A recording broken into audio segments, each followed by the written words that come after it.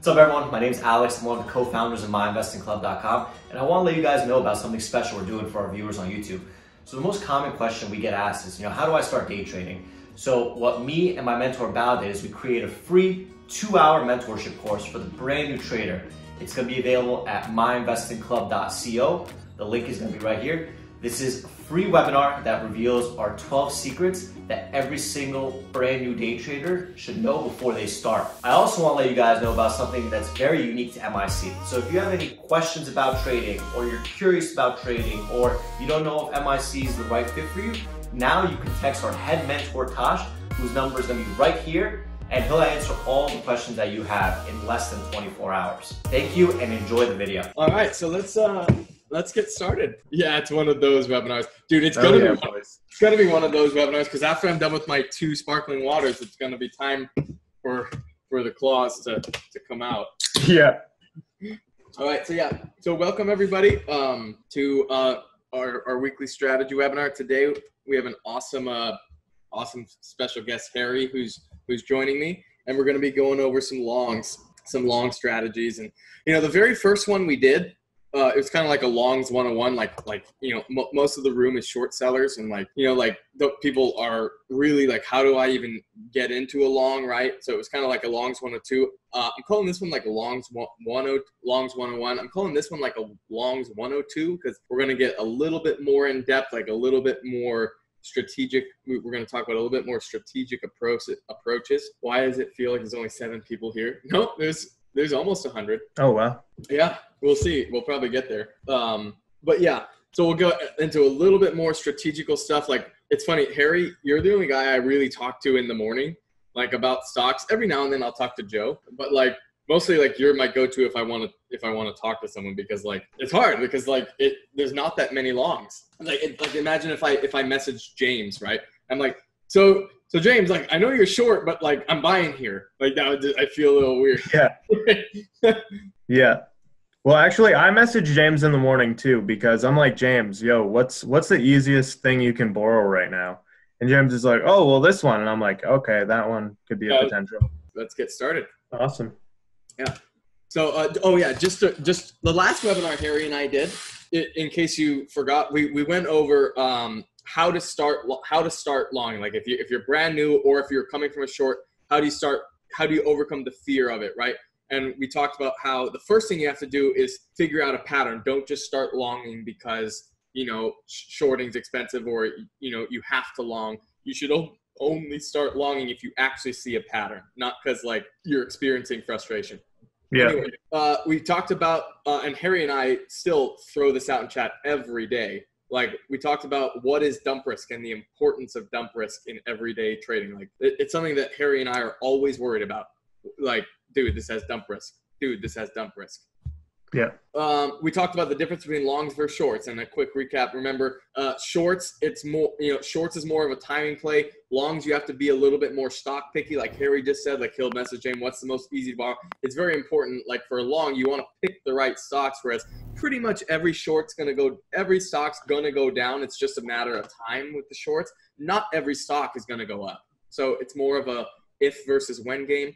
We went over how to look for traps. Harry pointed out some great things about um, soaking and looking for traps. You know, w- you know what kind of stocks are likely to trap, where they trap, what it looks like when they trap, and then I touched upon like you know how sometimes for longs the best ones that work are the ones are, are the entries that have the, the best you know risk reward because longs kind of all think alike no one wants to buy a small cap stock when it has really high risk when it has dump risk that's why these stocks dump because there's not enough demand because there's too much dump risk and longs won't buy it. And yeah, that was just a quick recap. So Harry, take it. Okay, well this one was today. I guess like before we kind of get into this, like uh, you're gonna see trades here that are like you know like pretty good and like different types of setups like within like these kind of like trade ideas. So like I'd probably trade on average like maybe like five, six tickers in the morning every morning, like long, just for either bounces or just for, you know, types of plays like that.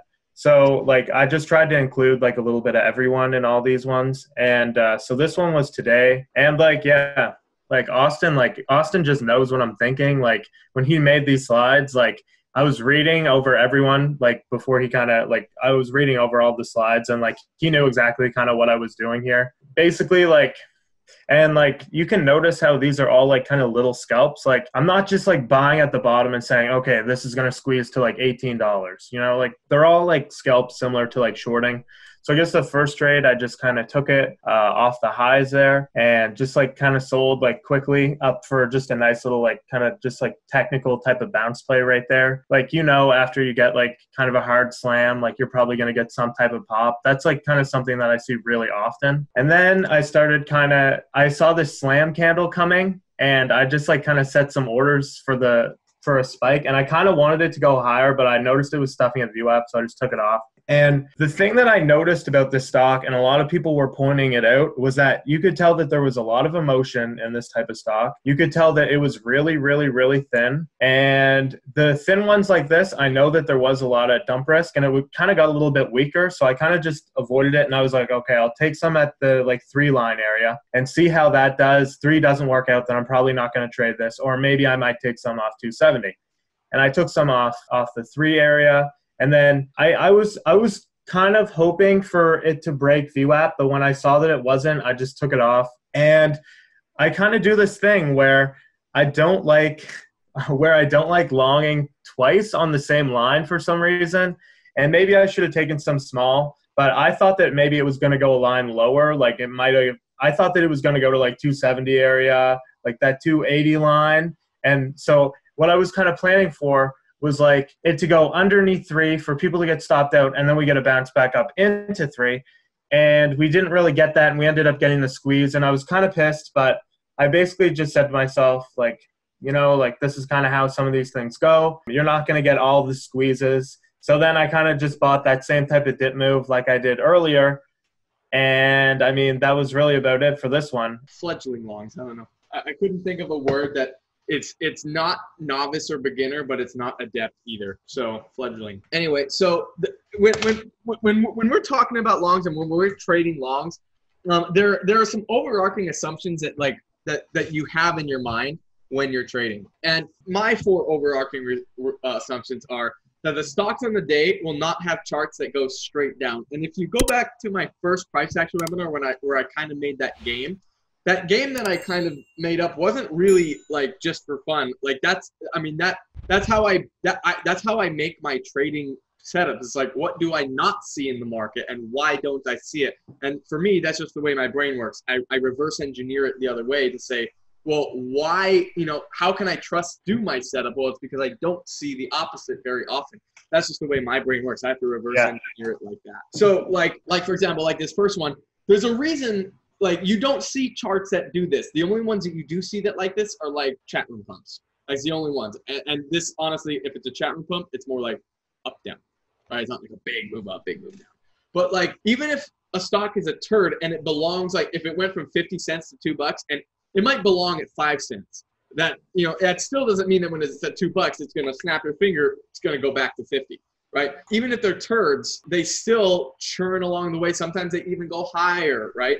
The point is is that they will not a stock a, a, stock that's up big percent on the day or a strong gap or a strong powerful move even if the move is unwarranted the stock will not go straight down. So what does that mean? That means there's areas of opportunity even on a downtrending ish which eventually all small caps become or they're eventually downtrending from the ultimate high right? Like like like CLSK it had the ultimate high right there pre-market and at the open but still we got you know nice longs on it on the you know on the on the ride up. There's play in between. So that's the overarching assumption is that you don't see this pattern. So there's play in between. And so now the second question is where where do i participate right? And so that's literally the game one two. It's not going to go straight down. It's going to have some bounces somewhere. You know where's the most likely place for the bounce? And that's i mean de facto that's a long that's that's that's that's how longs play in small cap. The second one is that the overarching assumption is that shorts get too excited and like yeah. Is like put it this way: if there, this is sounds so dumb. If there weren't shorts, these would go fucking straight down. Like if there were no shorts, they would do this. like if yeah. it was just longs, if it was just longs, this is the charts you would see. But because they're shorts, they go up, right? So that's the overarching assumption is that shorts get too excited. They see, you know, there's the thing about the stock market, especially small cap land. You honestly, like, I, I sometimes underestimate how many fucking people are Yeah. looking at these stocks with me. Like, it's in the millions that Yeah. are looking at these stocks with you. So, Yeah. like, um, and and they everyone has an opi- you know opinions are like buttholes, right? Everyone everyone has one, and they all stink. You know that with millions of people watching it, and that's and this is why when stocks are have large volume, those are the ones that we like. Why? There's so many competing ideas that you know that like I you know you can trust the lines because there's a million other people with you watching it and like buying right there with you, helping you. All right, I will see you guys all Monday. All right. See you guys. See ya. Thank you so much for watching our video. If you want to see more of our videos, please subscribe to our YouTube channel by clicking the button here. We do our best to post a new video every single day. If you have any questions about MIC or any general trading questions, please text Tosh using the number here. Also, stay up to date by watching some of our most recent videos right over here.